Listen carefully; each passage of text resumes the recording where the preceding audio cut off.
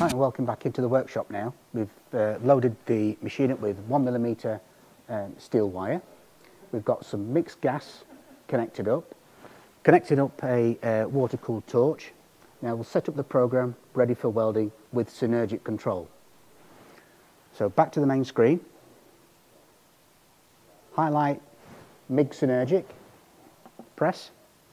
I'm going to go for option 2T for the trigger, which is press and hold, release, it comes off. The 4T control is 1, 2, release, and it runs auto. Come to the end of the weld, 3, 4, and it stops. So I'm going to go for 2T.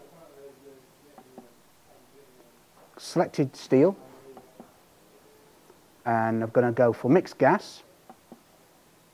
It's one millimetre wire, and I've got five millimetre plate. And that gives me a program ready for welding. So we'll just try that and see what it looks like.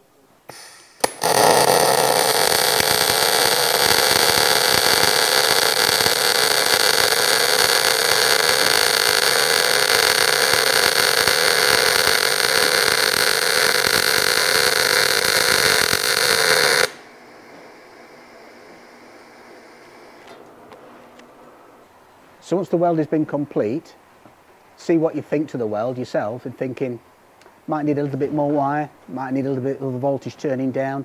You can go back to the machine and tweak the machine to what you want and then try again.